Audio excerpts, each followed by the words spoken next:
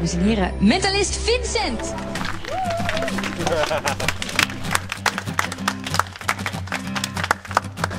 De bank, tot de volgende.